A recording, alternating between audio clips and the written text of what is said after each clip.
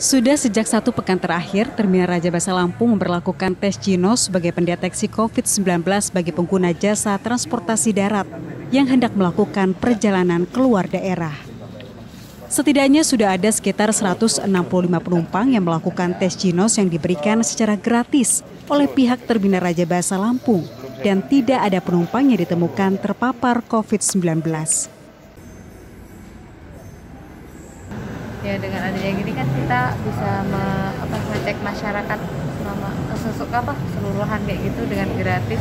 Karena masyarakat kan banyak nggak mau tes karena dia prabayar kalau untuk awalnya sih pasti kaget ya terus kaget uh, deg-degan juga mau gimana hasilnya. Soalnya baru pertama kali.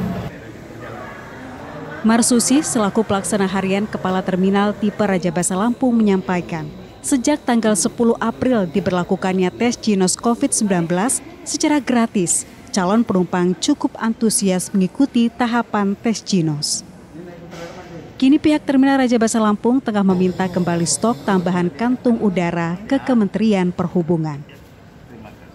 Untuk Terminal Tipe Raja Basa, untuk penumpang yang akan melakukan perjalanan lanjutan khususnya ke luar Lampung yang mau menggunakan jasa kita sarankan dan kita anjurkan eh, mengikuti pemeriksaan virus COVID-19 hmm. di terminal Raja Basa yang sampai saat ini kita laksanakan gratis tanpa hmm. berbayar. Hmm. Masih untuk kegiatan ini karena dia eh, kantong udaranya kita masih dapat kiriman dari kementerian dapat jatah 300 biji buah uh, nanti kita juga sudah mengusulkan ke pusat untuk meminta tambahan.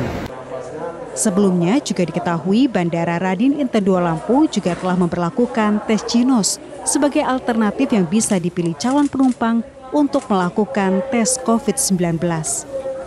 Roma Afria Idam, Kompas TV, Lampung.